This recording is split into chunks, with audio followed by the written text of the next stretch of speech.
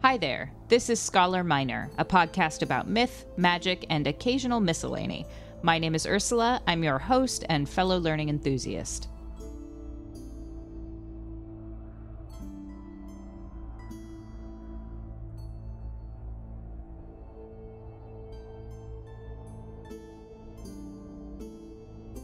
Welcome back, everyone, to another episode of Scholar Minor. I want to thank you all for your patience last week. Things have been a little chaotic at home. While I wasn't able to complete all the items on my to do list, there is a new post on my website, www.ursaminorcreations.com, that I encourage you to check out for some spring cleaning history and tips. Spring is here, and in difficult times, there are few things that bring me more joy than watching the natural world waking up after its long sleep. I have a small apartment in the city with a little enclosed yard, and this week I took out my notebook, sat on the stoop, and finalized my plans for this year's garden. As I circled the little space inspecting the condition of my planter boxes, it was admittedly a little sad to encounter the languishing skeletons of last year's basil and echinacea. But in the cracks between the paving stones and just about everywhere else, the California flora has taken over and is thriving in the March sunshine. These tenacious little plants are beautiful in their own right, and for this springtime episode, we'll be talking about the characteristics and folklore of three varieties sorrels, nightshades, and sunflowers.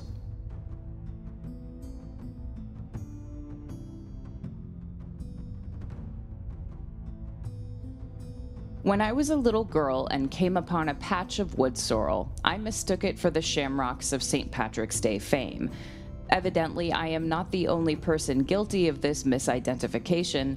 Wood sorrels are sometimes referred to as false shamrocks. Sorrels are in the genus Oxalis, and there are many hundreds of species all over the world. Most species have a clover or shamrock like appearance with three heart shaped leaves and small star shaped flowers. Some are happy in the sunshine, while others, like the purple leafed Oxalis triangularis, thrive in the shade. Interestingly, this strange little plant will move its leaves around during the day to catch its preferred amounts of light. The leaves of some species even fold up at nighttime to save energy. Here in California, the species Oxalis oregana, or redwood sorrel, grows in the shade of the coastal redwood forests. California horticulturalist Earl Nickell tells us via Pacific Horticulture that Oxalis acetosella, or common wood sorrel, was utilized by many indigenous cultures. The Cherokee chewed the leaves to soothe sore throats, the Kiowa believed it could alleviate thirst on long journeys, and the Iroquois used wood sorrel to aid with fevers and nausea. Sorrel has many uses around the globe in tradition and superstition. In George Frederick Abbott's 1903 Macedonian folklore, we are advised that for curing the bite of serpents and other wild beasts, and that they may not touch him, not even the dogs, but flee from him, pound sorrel and strain them well, and then smear with the juice of all, and you shall marvel. In another seasonally appropriate tradition, a 1975 article titled Customs and Folklore in Austria tells us that an even clearer survival of the ancient rites of spring are the greenery customs, or Grünwasser, during Holy Week. The custom, for instance, observed in town and country alike, of eating spinach, salad, or sorrel on Maundy Thursday. This will ensure health and fitness during the coming year. Modern foragers and folk traditions alike describe the taste of sorrel as distinctly sour, and it is sometimes used to make lemony teas and in salads. In fact, it's also known as sourdock, sourweed, and sour grass. Despite its history of medicinal and culinary usage, larger quantities of sorrel can make you sick. Unless you've got a professional around to identify them, don't start eating your weeds. Also, if you're in an urban or suburban area, it's possible your neighbors have tried to get rid of plants like sorrel using poisonous weed killers.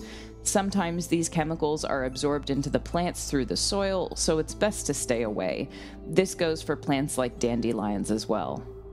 If you're a gardener who has tried to remove wood sorrel, you'll know that it is nearly impossible to escape. You can spend an entire day on your knees weeding only to have it grow back at a remarkable pace. This ability to grow quickly and everywhere is one of sorrel's biggest strengths, but it is also why some gardeners will give sorrel a distinctly chilly reception. Some varieties are invasive and crowd out native plants. Yellow oxalis, or Oxalis pes-caprae, is one of the most common varieties in California, sporting beautiful little yellow blooms that herald the coming of springtime. Unfortunately, this particular oxalis was introduced to California from South Africa as an ornamental plant in the early 20th century, and it will completely displace native grasslands and wildflowers. In addition to crowding out the plants that are supposed to be there, the birds and other animals that rely on native vegetation for food and shelter are forced to leave once this oxalis species has taken an area over. Unfortunately, we're unable to control the spread of yellow oxalis. It is too common and too hardy. But what we can do is work hard to avoid other non native plants being introduced similarly in the future.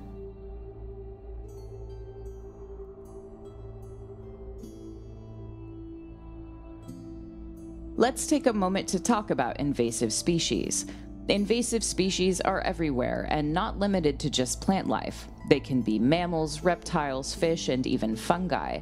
They are a species that were introduced, usually by accident, to an environment in which they are not indigenous and can cause irreparable damage. Ecosystems are very fragile, and even a seemingly small invasion can have drastic consequences. Take, for example, zebra mussels.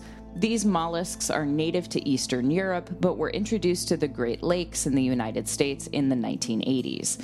They were picked up in the ballast water of ocean going ships and transported accidentally.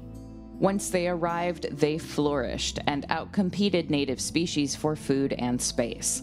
Zebra mussels also attached themselves to other native species like crayfish.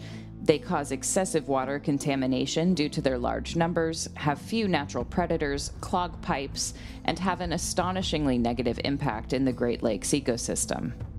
Sometimes an invasive species is introduced purposefully by the human population, usually as an attempt at controlling other populations. In 1949, five cats were brought to South Africa's Marion Island to control the mice there. 28 years later, the population of cats had increased to 3,400.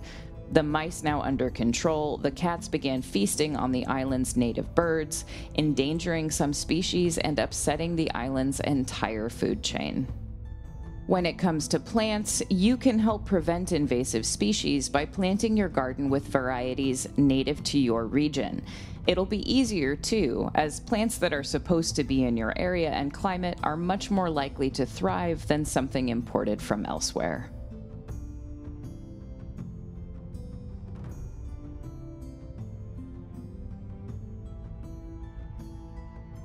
Nightshades, or Solanaceae, are a huge plant family containing a multitude of species and varieties. Interestingly, while some types of nightshades are regularly consumed by humans, including tomatoes, potatoes, eggplants, and bell peppers, others are decidedly not edible and, in fact, deadly.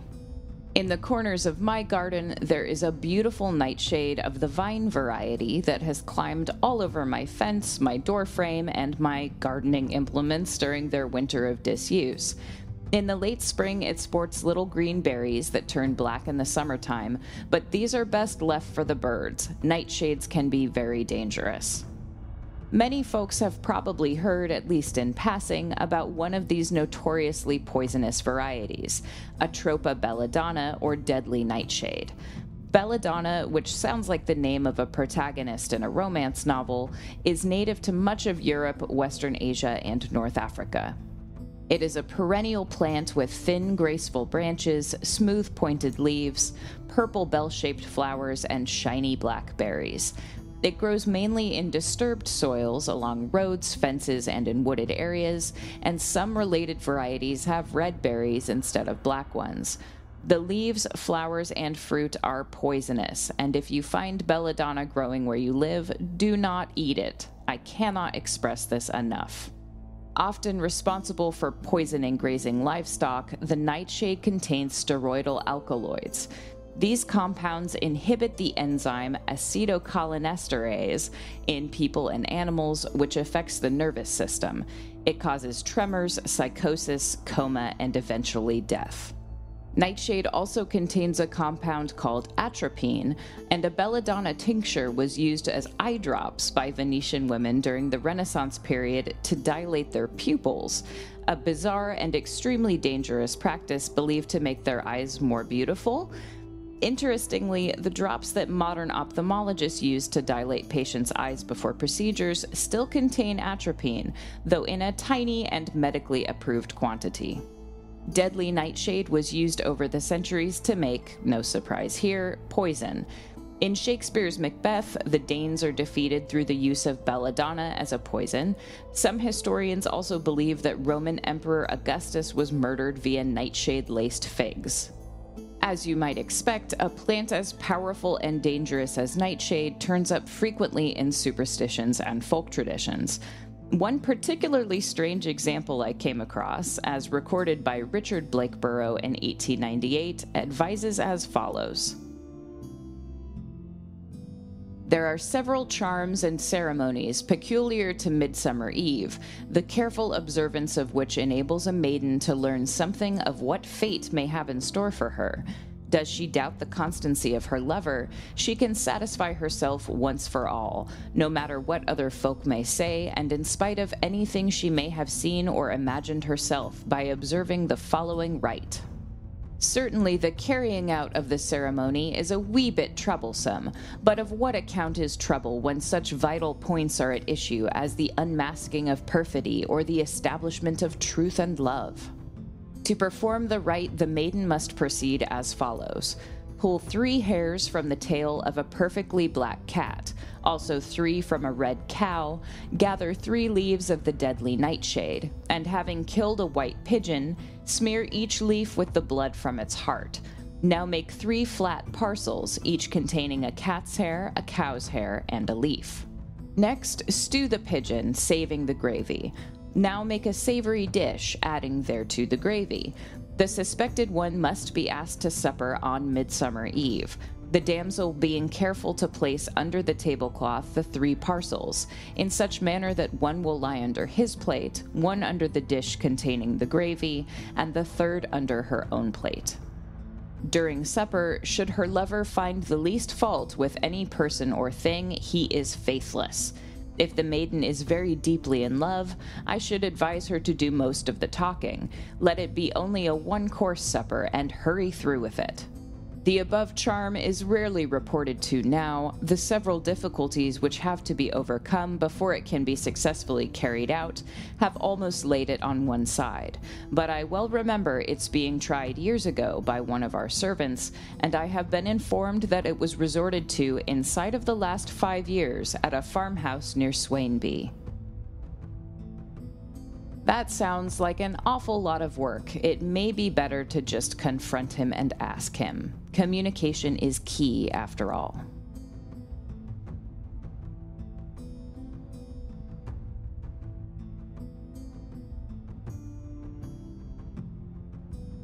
Hanging from the mandarin tree in my garden is a bird feeder. Though in recent weeks I have had some bird visitors, initially the only creatures that were interested in the birdseed were mice. As I have a nightly habit of sitting outside for a time before retiring to bed, I often interrupt them hopping along the tree branches to enjoy a seed snack. Fortunately for me, these little visitors are messy eaters. In their haste to enjoy their dinner before being discovered, they dropped almost as many sunflower seeds as they ate. A few days ago, I realized that I had little sprouts appearing on the ground under the bird feeder, and sure enough, I can confirm I have some sunflowers on the way. Sunflowers, genus Helianthus, are about 70 species of plants from the aster family, Asteraceae. They are native to the Americas and had hundreds of uses for the many indigenous peoples here. Sunflower seeds could be pounded into flour and used for cakes or eaten on their own.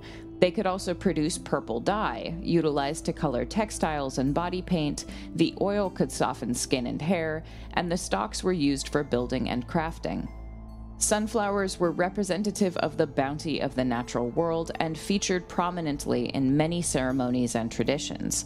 In Mexico, indigenous peoples began cultivating crops such as squash, corn, and beans as early as 8000 BCE, and recent archaeological evidence suggests that they may have also domesticated sunflowers around this time. The sunflower was taken back to Europe by the Spanish in the 16th century, and they thrived in many European climates, becoming especially popular in Eastern Europe and Russia, where they were grown and still are grown in enormous quantities to produce sunflower oil. Sunflowers are easy to identify, and you probably know what they look like already. They can grow up to 15 feet tall and have rough, serrated leaves and upright, hairy stems. Their blooms are generally very large and circular, with a large central disc and numerous little yellow petals. Blooming between July and September, later in the fall, the petals will dry out and the seeds in the central disc are exposed for harvesting. It's important to note that one of the most commonly repeated myths associated with the sunflower isn't actually about the sunflower at all. A simple search for the folklore and myths surrounding sunflowers will bring up the Greek myth of Apollo and Clytie. Clytie, a water nymph and daughter of sea god Oceanus, fell in love with the sun god Apollo. Unfortunately, Apollo wasn't interested, and Clytie sat before Mount Olympus for nine days, refusing food and drink until he changed his mind.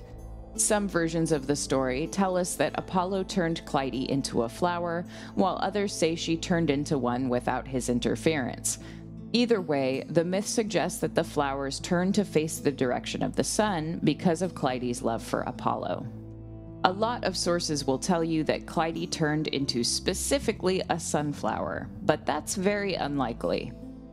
As we noted earlier, the sunflower is native to North and South America and didn't reach other continents until the Spanish got involved in the 16th century. Some of the confusion regarding the identity of Clytie's flower may come from the translation of the plant's name. There is actually a term for plants that move according to the position of the sun, turnsols. Sunflowers are not the only species of flower to exhibit this behavior. Remember our variety of oxalis that does this.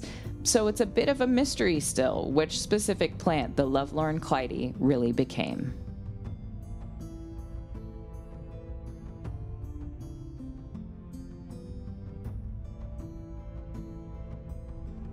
I am so happy that spring is here and the warmer weather is already cheering me up.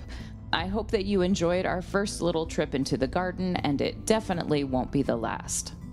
Citations, as always, are in the show notes, as is a link to my website, www.ursaminorcreations.com, where you can listen to other episodes and check out some additional content. I am currently hard at work trying to learn how to make videos, so stay tuned for updates about a YouTube channel, hopefully in the near future. Also, feel free to email me anytime if you have a topic you'd particularly like to hear about, or just to say hello at ursaminorcontact at gmail.com. I'll put that email in the notes too. Have a beautiful week, everyone, and I'll talk to you again next Wednesday.